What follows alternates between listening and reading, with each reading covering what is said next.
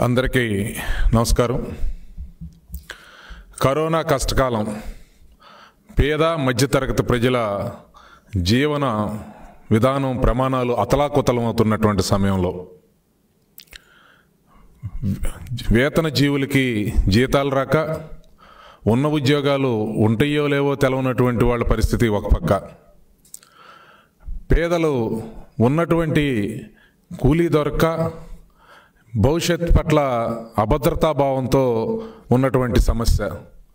కార్మికులకి కర్మాగారాలు మూసివేసి కనీసం ఉపాధి దొరకనటువంటి పరిస్థితి మరో పక్క ఈ కష్టకాలం ఎప్పటికి తీరుతుందో ఎలా తీరుతుందో ఎలా కుటుంబాన్ని పోషించుకోవాలో అనేటువంటి వ్యధతో ఉన్నటువంటి సామాన్య మధ్యతరగతి పేద ప్రజానికానికి పిడుగుపాటులాగా గత పదిహేను రోజుల నుంచి పెరుగుతున్నటువంటి పెట్రోల్ డీజిల్ ధరలు మరింత శరాఘాతాన్ని కలిగిస్తూ ఉన్నాయి. చాలామంది కార్మికులు పేదలు తమ పొట్ట పోషించుకోవటానికి కర్మాగారాల్లో పనిచేసేవారు కానీ ఇతరత్ర చిన్న చిన్న పనులు చేసుకునేవారు కానీ అందరూ కూడా ఏదో చిన్న వెహికల్ ద్వారా ఇప్పుడు పళ్ళు అమ్ముకోవటం కూరగాయలు అమ్ముకోవటం కోడిగుడ్లు అమ్ముకోవటం ఈ విధంగా చేస్తున్నటువంటి సంఘటనలు పెరుగుతూ ఉన్నారు.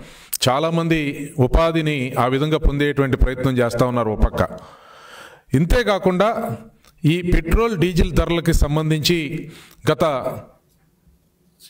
పదిహేను రోజుల నుంచి సుమారు తొమ్మిది రూపాయలు పెరిగింది. డీజిల్ మీద సుమారు తొమ్మిది రూపాయలు పెట్రోల్ మీద ఎనిమిదిన్నర రూపాయలు పెరగటం జరిగింది.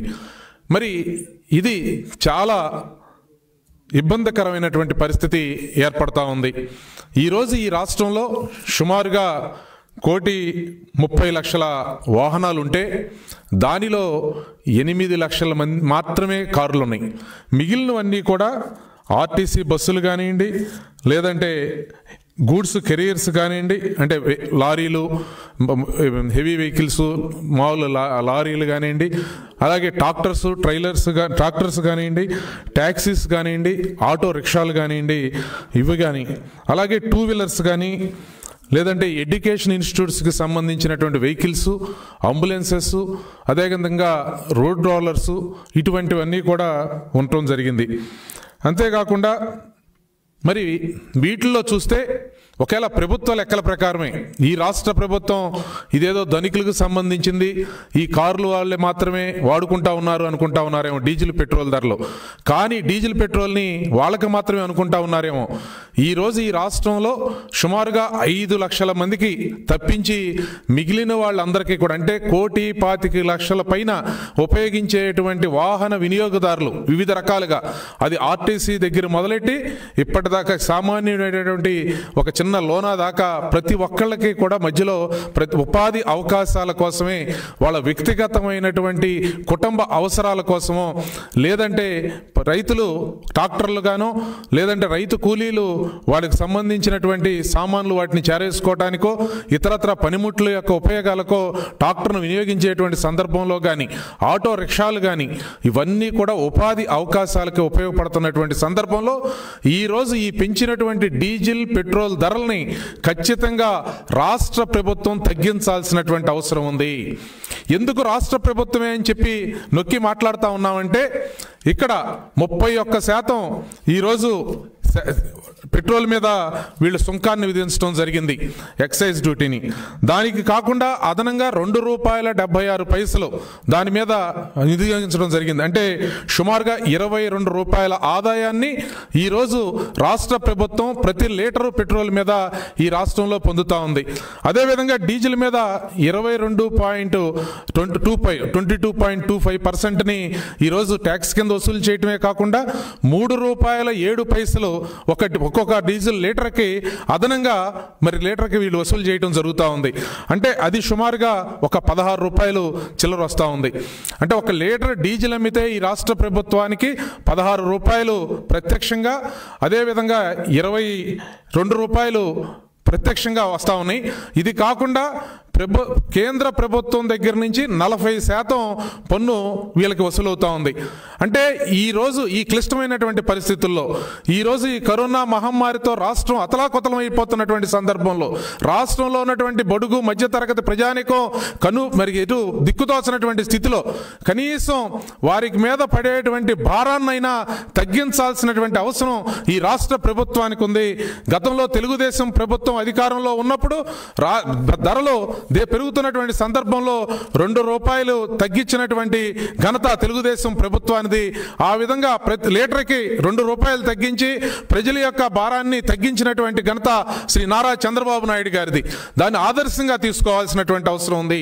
ఈ రోజు ప్రభుత్వాలు ప్రజల కోసం పనిచేయాలి తప్పించి ప్రజల దగ్గర నుంచి ఏదో ఒక రూపంలో పన్నులు వసూలు చేసుకుందాం ఏదో ఎలాగైనా ముక్కు పిండుదాం అనేటువంటి దమనమైనటువంటి పన్నుల్ని వసూలు చేసేటువంటి సంస్కృతి ఉండకూడదు అని చెప్పి తెలియజేస్తా ఉన్నాను. అందుకోసం తక్షణం ఈ ప్రభుత్వం ఈ పెంచినటువంటి ఏడు ఎనిమిది రూపాయలు ఏదైతే పెరుగుతా ఉందో వాటిని వెంటనే తగ్గించాల్సినటువంటి అవసరం ఉంది. ఎందుకంటే రాష్ట్ర ప్రభుత్వానికి ఆ విధంగా తగ్గించినప్పటికీ కూడా ఇంకా ఆదాయం వస్తూ ఉంటుంది. ఇందాక చెప్పాను ఇరవై రెండు రూపాయలు పెట్రోల్ మీద అదేవిధంగా పదహారు రూపాయలు డీజిల్ మీద ప్రత్యక్షంగా మీకు వస్తూ ఉన్నప్పుడు దానిలో కనీసం ఒక ఏడెనిమిది రూపాయలు తగ్గించడానికి ఉన్నటువంటి ఇబ్బంది ఏంటని చెప్పి అడుగుతా ఉన్నాను. అదే సందర్భంగా గత గత ఐదు సంవత్సరాల నుంచి అంటే రెండు వేల పంతొమ్మిదికి ముందు ఎప్పుడూ కూడా సుమారుగా పదకొండు రూపాయలు మించి డీజిల్ మీద ఎప్పుడు ప్రభుత్వానికి ఆదాయం రాలా. అదేవిధంగా సుమారు పద్దెనిమిది రూపాయలు మించి పెట్రోల్ మీద ఆదాయం రాలా. అయినప్పటికీ కూడా అయినప్పటికీ కూడా ఆనాడు ఉన్నటువంటి రాష్ట్ర ప్రభుత్వం నారా చంద్రబాబు నాయుడు గారు మరి రైతులకి కానివ్వండి ఇతర పేద బడుగు బలహీన వర్గాలకి మధ్యతరగతి వారికి భారం పడకూడదనే ఉద్దేశంతో రెండు రూపాయల రాయితీని ఇచ్చినటువంటి విషయాన్ని ఈ సందర్భంగా తెలియజేస్తూ కర్ణాటకలో కూడా మనకంటే చాలా తక్కువ ఉంది. రెండు రూపాయలు తక్కువ ఉంది. ఇప్పటికైనా ఎందుకంటే ప్రధానంగా ఆంధ్రప్రదేశ్ రాష్ట్రం వ్యవసాయం మీద వ్యవసాయ కూలీల మీద అదేవిధంగా మోటార్ ట్రాన్స్పోర్ట్ వర్కర్స్ మీద ఆధారపడినటువంటి రాష్ట్రం. బడుగు మధ్యతరగతి ప్రజల జీవన విధానాలకి ప్రమా ప్ర- ప్ర- విఘాతం కలగకుండా ప్రమాదం రాకుండా తక్షణం చర్య తీసుకోవాలని చెప్పి డిమాండ్ చేస్తా ఉన్నాం.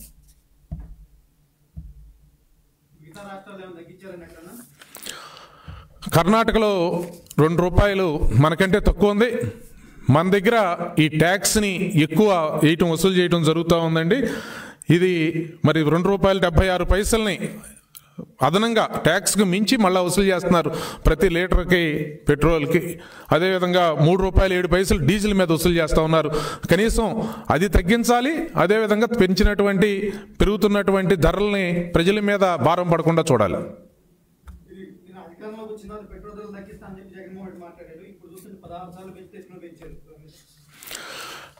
అదే చెప్తా ఉన్నాం. మాట తప్పం మడం తిప్పం అని చెప్పి చెప్పినటువంటి జగన్మోహన్ రెడ్డి గారు ప్రతిపక్ష నేతగా చెప్పినటువంటి మాటలు కానీ ఇచ్చినటువంటి హామీలు కానీ ఒక్కటి కూడా నెరవేర్చుకోలేదు.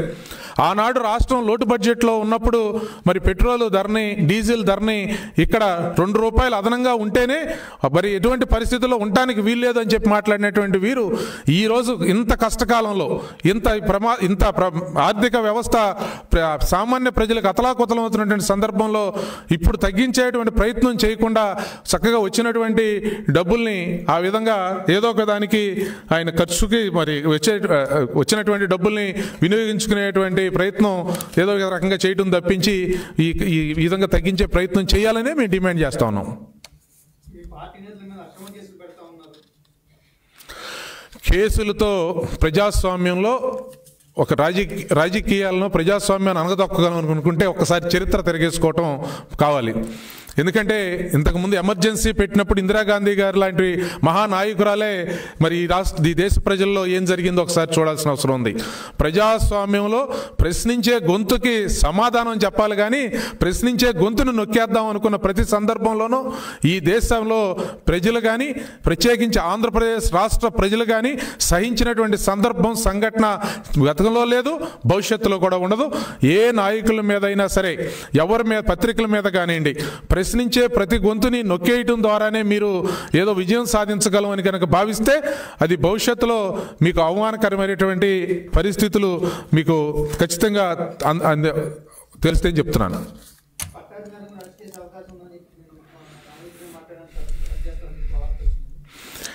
ఇప్పుడు ఈరోజు పత్రికల్లో వార్త వచ్చింది. నూట మీ నూట ఎనిమిదికి సంబంధించి లేదంటే కొనుగోలు పరికరాలకు సంబంధించి ఒక ఆరోపణ కానీ లేదా ఆధారాలతో కూడి కానీ ఒక పార్టీ ప్రతినిధి చేసినప్పుడు దాని మీద స్పష్టమైనటువంటి వివరణ ఇవ్వండి. మీరు ఏం చేశారు? ఎందుకు చేశారు? దానికి సంబంధించినటువంటి ఏంటి అని చెప్పి ఇవ్వకుండా కేసులు పెట్టేయడం ద్వారా ఏదో గొంతు నొక్కేద్దామని అనుకుంటే కేసులు పెడతం ద్వారానే లేదా అరెస్టులు చేయడం ద్వారానే ఈ రాష్ట్రంలో ప్రతిపక్షం లేకుండా చేయాలనో ప్రజాస్వామ్యం లేకుండా చేయాలనో మీరు చేసేటువంటి ప్రయత్నాలు సఫలం కావు. అయినట్టుగా చరిత్రలో ఇందాక చెప్పాను. భవిష్యత్తులో కూడా ఎటువంటి పరిస్థితుల్లో అటువంటి అరాచకాలని దాష్టికాలని కొనసాగనివ్వం.